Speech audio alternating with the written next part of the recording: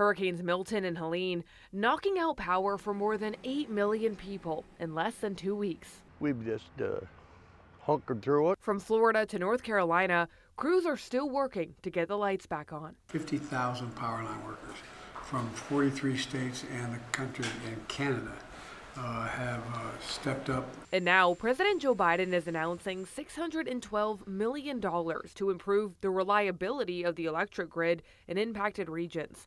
It's part of the more than $10 billion passed in the bipartisan infrastructure law back in 2021. We've already gotten the majority of that money out the door, 65 different projects all across the country to build more resiliently. The Department of Energy says those projects include replacing wooden electric poles with concrete ones and burying overhead transmission lines underground. We need to do a lot more of that.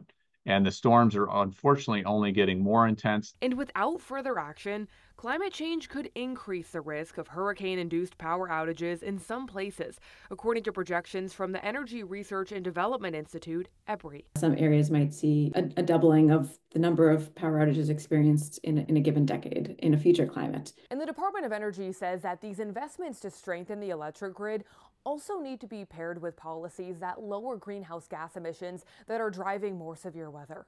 In Washington, I'm Jackie DeFusco.